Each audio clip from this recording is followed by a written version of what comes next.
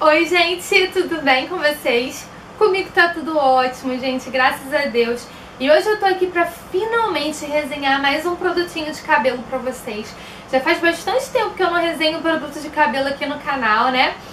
Eu venho falar pra vocês desse produto aqui, ó, que é o Novex BB Cream. Já faz muito tempo que eu queria conhecer, experimentar esse produto. Assim que lançou esse Novex BB Cream, eu fiquei louca atrás tentando, tentando encontrar nas farmácias. Eu não tava achando, até que eu desisti, porque eu não encontrava mesmo ele pra vender. Aí eu fui naquele encontro de blogueiras é, da Rio Beleza. Eu até mostrei pra vocês todas as coisas que eu recebi naquele encontro e tal. Vou deixar o link pra vocês do vídeo aqui, quem quiser conferir, né, as coisinhas que eu recebi nesse encontro. É, então veio esse, esse produto da Novex e eu fiquei, ah, não acredito, que eu queria muito testar, gente. Eu já tinha visto muitas resenhas de muita gente falando muito bem e chegou a minha vez. Eu vim, gente, resenhar ele logo pra vocês antes que ele acabe, porque ele tá, tipo, por aqui. Ele tá no meu box e eu tenho usado ele sempre. Todas as vezes que eu lavo o cabelo, eu uso ele como condicionador.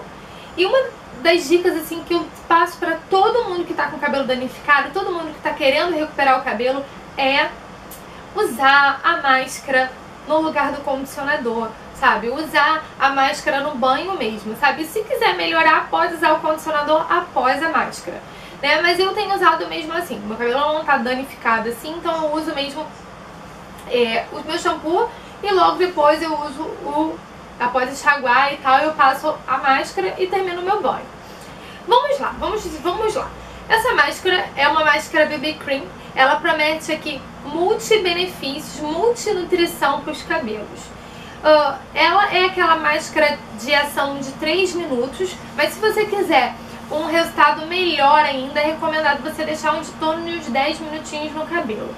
Eu, gente, usei ela 10 minutinhos no cabelo, nem foi 10, ficou até um pouquinho mais que 10 minutos, foi em torno foram umas duas vezes que eu usei assim, mas a maioria das vezes que eu tenho usado ela é no banho mesmo, tá?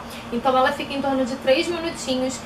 Quando eu vou tomar um banho um pouquinho mais demorado, eu coloco na touquinha no banho mesmo, mas quando não vou, eu, eu prendo o cabelo aqui com a máscara na pregadeirinha e termino de tomar o meu banho. Vamos lá. Ela é uma máscara que ela tem um pH de 3,4, então ela vai dar uma selada no cabelo, né? É, bacana. Ela diz que penetra no free e esse potinho aqui diz que promete até 10, até 9 aplicações. Mas sinceramente, gente, eu acho que eu já piquei ela mais que 9 vezes no meu cabelo sim. Eu tenho lavado meu cabelo, eu sempre lavo meu cabelo dia sim, dia não, sabe? Dia sim, dia não. E vamos lá, o que diz aqui? É... 8 tratamentos em um. Novex BB Cream uniu sua fórmula os ativos altamente nutritivos para tratar definitivamente os fios com oito benefícios indispensáveis. Primeiro, hidratação contínua, doação de brilho, nutrição revigorante, proteção térmica, sedosidade e maciez, ação antioxidante, revitalização imediata da fibra capilar, ação disciplinante e realinha os fios. Ela é uma máscara, gente, branquinha, ó. Iluminação não tá... Ó, olha quanto que eu já usei, tá vendo, ó? Ela é uma máscara bem branquinha. Ela é consistente, mas ela também não é muito consistente, sabe? Ela é consistentezinha. O cheirinho dela é bem gostoso, mas é tipo... Só uma minha franja que tá bagunçada. É típico mesmo, assim, do cheirinho dos produtos da Novex. E eu gostei muito, muito mesmo dessa máscara. As meninas ficam me pedindo para resenhar máscaras baratinhas, máscaras de farmácia. Então eu venho hoje com essa dica pra vocês. Eu achei assim que o meu cabelo ficou muito, muito brilhoso. Quando eu enxago o meu cabelo com ela, é, eu tenho aquela sensação assim de cabelo bem hidratado, sabe? De cabelo bem, bem molinho, sabe? Com ela. Eu não achei que com relação ao frizz, ela retirou todo o frizz do meu cabelo, não, tá? Porque eu fiz alguns testes enquanto eu usei ela, tô usando ainda, né? Tipo, eu deixei meu cabelo, enxaguei, né? Tirei o excesso de água do cabelo e deixei ele secar naturalmente pra ver como que meu cabelo reagiria. Então, assim, meu cabelo chegou a ficar com um pouco de frizz. Não muito, mas chegou a ficar com um pouco de frizz. Então, eu passei um olhinho, né, finalizador pra poder dar uma alinhadinha nele. Ainda mais, gente, que vocês sabem que eu não tô mais fazendo progressiva no meu cabelo, não vou mais fazer progressiva. É, eu vim até com o meu cabelo assim pra vocês verem como que meu cabelo tá hoje. Eu fiz, eu fiz uma franja, né?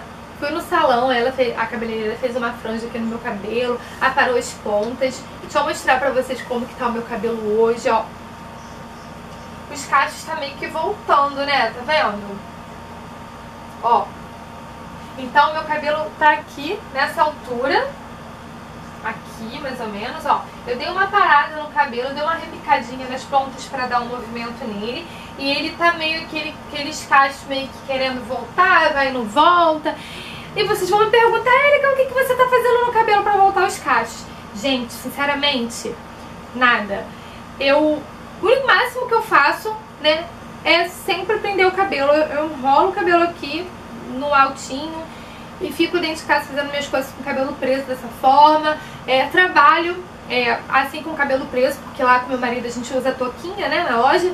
Então a gente tem que estar sempre com o cabelo presinho assim. Então o meu cabelo tá ficando muito enrolado aqui assim. Não sei se isso tá interferindo em alguma coisa, né? Mas meu cabelo tá direto assim. Então quando eu tenho lavado meus, meu cabelo, né, deixa ele secar naturalmente, ele tem ficado desse jeito. Então vai mesmo pra tentar atualizar um pouco vocês de como que tá o cabelo, ó. Tá dando, tá vendo? Aqui, ó, tá, tá liso ainda. Aí aqui vocês podem ver que tem umas partes meio com... Tá vendo? Aquele vai não vai, sabe, gente? Eu já até pensei, eu falei, ah, eu acho que eu vou fazer progressiva, mas eu falei, não. Vou deixar meu cabelo assim, vamos ver até onde a gente consegue ir, né? Eu quero voltar mesmo aos meus cachos. Vamos ver se eu consigo, né? Tomara que eu consiga. Voltando ao produto, a máscara, né? Que eu sei que vocês gostam de saber de produto, de cabelo. Gente, é, ela, pra quem faz o cronograma capilar, gente, eu identifiquei essa máscara como uma máscara hidratante, porque ela tem alguma extrato de planta, tem algumas coisas aqui, e também como uma máscara é, nutritiva. Eu não consegui ler, gente, pelo menos nada com relação a queratina e aminoácidos nessa máscara, tá? É, não li mesmo, e também a letra tá muito pequenininha. Mas assim, é uma máscara nutritiva, eu identifico como uma máscara nutritiva e como uma máscara hidratante. Mas se você é, não usa petrolato, não ponto negativo dela é isso mesmo, tá bom? E é isso, gente. Eu espero que vocês tenham gostado da diquinha, da resenha de hoje, que é uma máscara baratinha, uma máscara de farmácia, que o cabelo fica bem bonito, fica bem legal sabe? Mas eu não vejo mesmo, gente, como aquela máscara assim, ó, mega power, que vai mudar e vai transformar seus fios e vai... Não, sabe? No meu caso, ela tem dado certo no meu cabelo. Meu cabelo não é aquele cabelo mega danificado, mega detonado. Então pra mim tem dado certo. Eu lavo meu cabelo com ela, percebo meu cabelo brilhoso, percebo meu cabelo macio. Com relação ao frizz, é isso que eu falei pra vocês. Não regulou muito frizz, mas eu consigo dar um jeitinho mesmo com o óleo finalizador. E é isso, gente. A gente vai complementando com alguns outros produtos que podem fazer a diferença no nosso fio. Muita gente, infelizmente muita gente, é, tem um pouco o pé atrás quando o produto é muito barato. Mas é muito importante a gente saber é, se informar, saber um pouquinho sobre composição. Você não precisa saber tudo, mas um pouquinho que eu, eu não sei nada de muita coisa sobre composição, mas pelo menos se é uma máscara hidratante, se é uma máscara nutritiva, se é uma máscara reconstrutora, o que que tem, o que que deixa de ter, porque aí você vai conseguir identificar de acordo com a necessidade do seu cabelo, sabe? Hoje em dia no mercado existem inúmeras máscaras baratas e acessíveis que dá pra todo mundo comprar é, com excelentes composições, então, gente, mas a minha dica com relação a essa questão do petrolato é o seguinte, é, usa outros produtos assim que vão é, acrescentar, sabe, na máscara. Se você tem máscara, ah, eu tenho uma máscara com petrolato e tal, eu não vou usar. Não, até usa, mas aí você usa lá um shampoo melhor, usa lá um finalizador melhor, pra poder potencializar e poder ter um, um resultado um pouquinho melhor no produto, tá bom? Essa é a minha diquinha de hoje. Eu estou gostando bastante dessa máscara.